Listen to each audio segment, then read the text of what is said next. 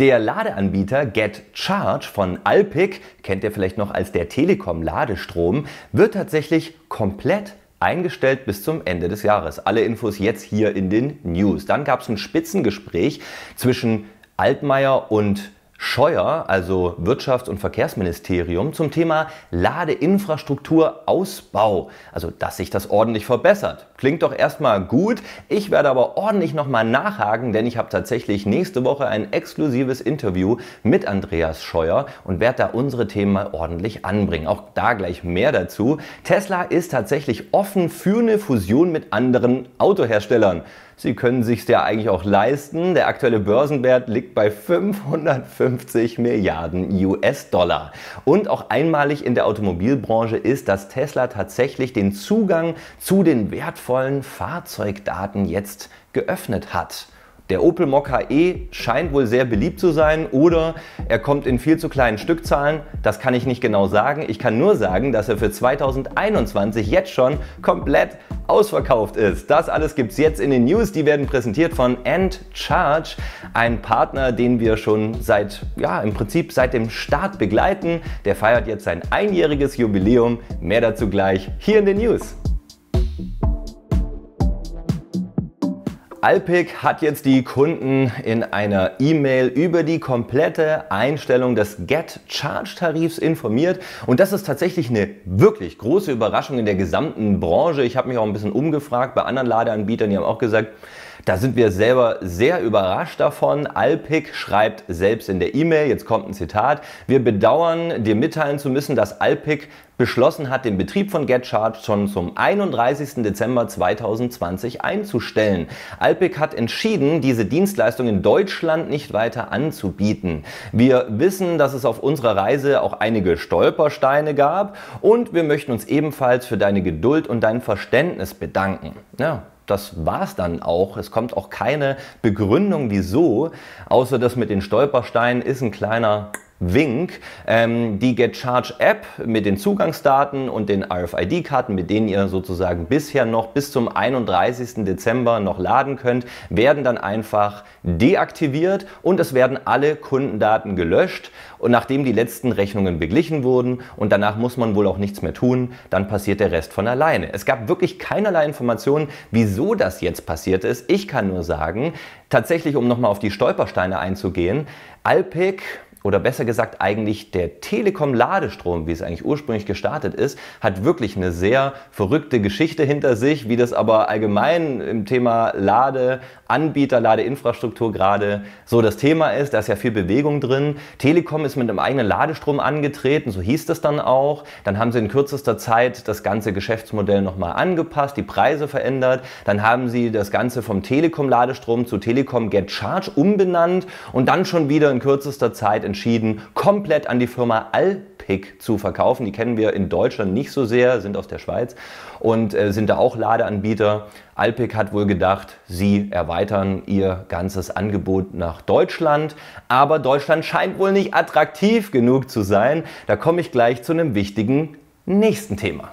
Uns hier in der Elektromobilitätsszene ist schon seit Jahren klar, dass das mit der Ladeinfrastruktur, wie es bisher von der Politik angegangen wurde, einfach nicht geht. Es ist um es mal deutlich zu sagen, ein riesengroßes Desaster. Ja, wir finden Ladesäulen und ja, es gibt Anbieter, aber das ist alles nur halbherzig und nicht mit voller Motivation wird da reingegangen. Deswegen gibt es einen riesengroßen Bedarf. Wir haben auch auf dem Kanal schon viel darüber diskutiert, dass einfach bei dem gesamten Thema anständiger, ordentlicher, staatlich auch äh, unterstützter Ladeinfrastrukturausbau plus auch eben das ganze Thema mit den Bezahlsystemen und auch die Preisstruktur ist ein Riesendesaster, das muss man an der Stelle ehrlich mal so sagen. Und deswegen haben das zum Glück jetzt auch endlich mal der Bundesverkehrsminister Andreas Scheuer und auch der Bundeswirtschaftsminister Peter Altmaier verstanden und haben jetzt in einem Spitzengespräch mit Vertretern von Kommunen, Autoindustrie und Energiewirtschaft über den Ausbau der Ladeinfrastruktur für Elektroautos eben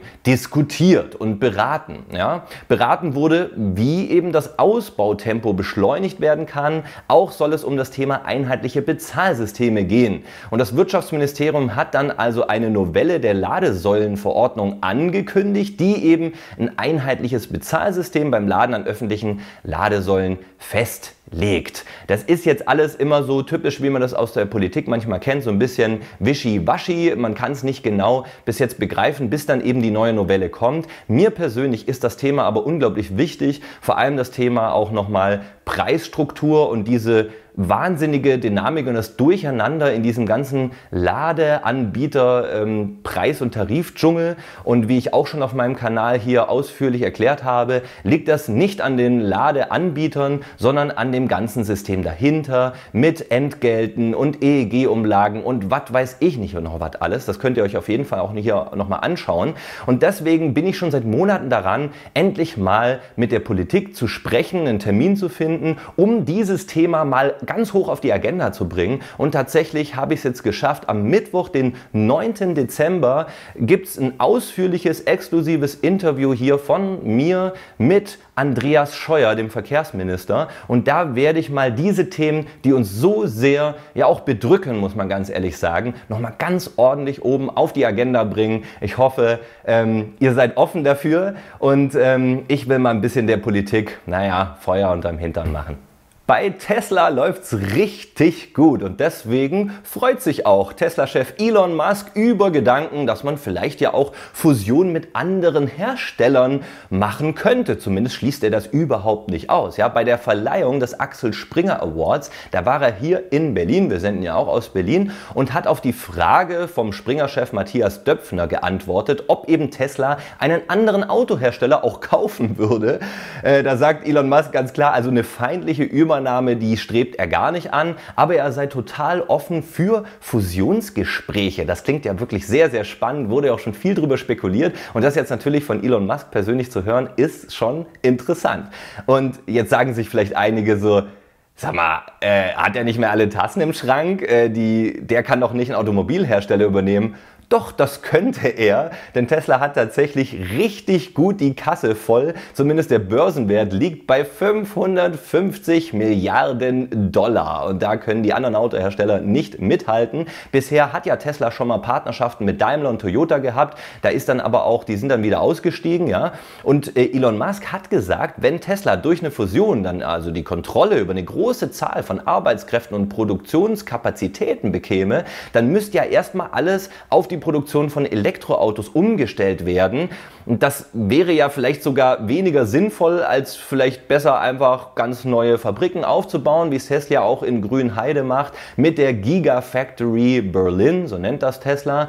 Und ähm, deswegen klingt das auch wieder ein bisschen nach einem kleinen Rückzieher, so nach dem Motto, ja, kann man drüber reden, aber macht das wirklich Sinn, die jetzt alle erst umrüsten zu müssen? Also sprich, er sieht da auch schon gar nicht mehr so viel äh, Interesse äh, mit anderen Automobilherstellern zusammenzugehen, weil die für ihn eigentlich fast schon so ein bisschen ver veraltet sind. Eigentlich ganz schön krass, finde ich, sowas durchzuhören. Tesla hat ja auch schon in der Vergangenheit Maschinenbauer und Automobilzulieferer übernommen. Gerade erst haben sie das Unternehmen Assembly and Test Europe aus dem rheinland-pfälzischen Neuwied gekauft. Die Firma arbeitet im Bereich Automatisierungsindustrie und fertigt unter anderem Test- und Prüfsysteme für Elektroantriebe und Fahrzeugakkus. Außerdem hat Tesla ja auch schon den Roboterhersteller Perbix aus den USA und den Maschinenbauer Grohmann Automation aus Prüm in Rheinland-Pfalz übernommen. Rheinland-Pfalz scheint ein sehr beliebtes Pflaster zu sein, sehe ich hier gerade für Elektromobilität. Liebe Grüße an alle, die dort wohnen. Ihr scheint was richtig zu machen. Kleiner Spaß. Und Tesla kann es sich ja auch wirklich leisten. denn das Unternehmen ist mehr wert als alle deutschen Automobilhersteller zusammen. Ja, tatsächlich. Wir rechnen mal grob. VW hat 78 Milliarden äh, Börsenwert. Okay, das sind jetzt Euro. Dann haben wir noch einen Daimler mit 60 Milliarden und wir haben noch BMW mit 44,5 Milliarden Euro. Aber da ist Tesla trotzdem mit 550 Milliarden Dollar in einer ganz anderen Liga. Schon verrückt. Die heutige Ausgabe wird präsentiert von EndCharge. Mit der App, die könnt ihr euch kostenlos für iOS und Android runterladen, könnt ihr einfach shoppen in der App bei ganz vielen Online-Shops und Partnern und bekommt dafür Kilometer kostenlos, mit denen ihr dann euer Elektroauto kostenlos aufladen könnt. Aber es gibt inzwischen noch viel, viel mehr. Denn sie sind nun ein Jahr alt. Gratulation zum Geburtstag an das gesamte Team. Ist wirklich ein junges, frisches Team mit äh, ganz motivierten Gründern. Wir begleiten sie auch von Anfang an hier auf dem Kanal und ich unterstütze sie gerne, weil das ist einfach eine tolle Lösung. Es sind in der Zeit wirklich viele neue Mobilitätspartner und auch Shops dazugekommen. Auch die Encharge Community ist gewachsen und ist von der Mission überzeugt, nämlich gemeinsam die Elektromobilität voranzutreiben. Und das wollen wir auch im nächsten Jahr gemeinsam mit Encharge tun. Deswegen sage ich einfach nur, Gratulation zum Geburtstag, macht weiter so und alle, die jetzt zuschauen, einfach mal die App runterladen, macht richtig Spaß. Nochmal eine News zu Tesla und die ist richtig spannend, denn Tesla macht was, was in der Automobilbranche bisher so noch nie vorgekommen ist. Und zwar geben Sie den Zugang zu Serviceinformationen, Anleitungen und vor allem den freien Zugang zur Fahrzeugdiagnose. Sie stellen also viele von Ihren Daten jetzt zur Verfügung. Also jedem, jedem Besitzer, der das gerne aktivieren möchte. Wie, sage ich euch gleich. Und wieso sollte man das eigentlich tun? Das ist vor allem eventuell interessant, wenn man mal eine Reparatur hat und eben da Daten dazu benötigt. Da kann das sehr hilfreich sein, auch vielleicht zur Analyse des eigenen Fahrverhaltens des Fahrzeugs. Also da werden sich noch ganz viele Möglichkeiten ergeben und das ist grundsätzlich schon mal eine echt interessante Geschichte. Und für alle Tesla-Fahrer, die jetzt zusehen und sagen, das möchte ich machen, ihr bekommt den Zugriff ganz einfach über die Tesla-App. Da einfach in in den Nachrichtenbereich gehen und dort könnt ihr eben eine Anfrage auf diesen Fernzugriff stellen. Grundsätzlich ist nämlich dazu nur die Fahrzeugidentifikationsnummer, also diese WIN-Nummer, nötig und eben der Zugang des Fahrzeughalters. Man kann es auch selbst machen, wenn ihr da gar nicht warten wollt über die App, könnt ihr das selber machen. Es gibt da einen Trick über eine chinesische Seite und wie das genau geht, erfahrt ihr bei den lieben Kollegen vom T&E Magazin. Die haben da eine komplette Anleitung gemacht, da gibt es sogar noch ein Video eingebunden. Wenn ihr das gerne machen wollt, dann checkt mal den Link im Beschreibungstext und äh, schreibt mal in den Kommentaren, wie ihr das so findet und äh, was ihr damit so machen würdet. Opel wurde ja vom PSA-Konzern übernommen und seit das geschehen ist, baut der Konzern gemeinsam mit Opel das E-Mobilitätsportfolio ordentlich aus. Ja? Nach der Ende letzten Jahres gestarteten Elektroversion des Corsa, also der Corsa E, kommt eben jetzt demnächst eine batteriebetriebene Ausführung des neuen Kompakt-Crossovers Mokka auf den Markt. Der heißt ja natürlich dann Mokka E. Der ist seit knapp 10 Wochen bestellbar und ist jetzt, und das ist der Hammer, bis auf weiteres komplett ausverkauft. Ein Opel Manager sagt selbst, die Nachfrage ging sehr schnell durch die Decke und man sei davon total überrascht. Wundert mich ein bisschen, dass Sie immer noch überrascht davon sind, dass Elektromobilität so eine hohe Nachfrage hat. Die Zahlen, die Steigerungen, die sprechen ja deutlich für sich. Die Förderung ist ja riesig hoch. Das ist wahrscheinlich auch ein Grund dafür, wieso das Fahrzeug so beliebt ist. Es kostet ja eigentlich, ähm, geht's los ab 33.000 Euro. Aber wenn man da mal die 9.000 Euro Umweltprämie, also die aktuelle Förderung äh, davon abzieht, dann sinkt der Grundpreis auf 23.420 2020, dann geht es da erst los und damit wird einfach jedes Elektro, also nicht jedes, aber die meisten Elektroautos zurzeit sehr, sehr attraktiv. Naja, was passiert da jetzt? Also, wie gesagt, Sie sind überrascht und die meisten Bestellungen habe man tatsächlich aus Deutschland erhalten, aber auch die Nachfrage in anderen Ländern ist so groß, dass eben das Produktionskontingent für das gesamte Jahr 2021 schon komplett erschöpft ist. Ja, da wäre mal interessant, wie viele Mokka E werden denn pro Jahr produziert? Das verrät das Unternehmen aber leider nicht. Ähm, mehr könnten im Pariser PSA-Werk Poissy da wird eben der produziert auch nicht hergestellt werden. Es geht einfach nicht mehr. Aber der Opel Manager deutet auch an, dass die Kapazitäten vielleicht irgendwie anders aufgestockt werden könnten und man versuche, eine Lösung zu finden. Verrückte Welt. Erst behaupten alle, keiner will ein Elektroauto, jetzt wollen alle ein Elektroauto, jetzt sind sie alle ausverkauft. Also es ist ja eine schöne Sache, aber es beschreibt schon ein bisschen, dass da einige, glaube ich, auf obersten Ebenen nicht so wirklich eine Ahnung gehabt haben oder es nicht wahrhaben wollten, was da eigentlich alles jetzt in der Mobilität auf sie zukommt. Ich freue mich grundsätzlich erstmal auch, dass ihr eingeschaltet habt und freue mich auch, wenn ihr in Zukunft wieder mit dabei seid hier auf dem Kanal. Ich kann euch sagen, wie gesagt, das Interview mit Andreas Scheuer, wo ich mal ordentlich der Politik ein bisschen sagen möchte, wo sie noch nacharbeiten möchte, kommt bald hier auf dem Kanal. Außerdem noch ein Autotest zum Mercedes EQC, den habe ich ausführlich getestet und es gibt tatsächlich auch noch ein Fahrvideo vom neuen Volkswagen ID4. Also zum Ende des Jahres geht es nochmal richtig ab hier. Ich freue mich, wenn ihr mit dabei seid. Wenn ihr nichts verpassen wollt, einfach rechts unten den Kanal kostenlos abonnieren. Dann sehen wir uns schon bald wieder. Bis dann und bleibt gesund.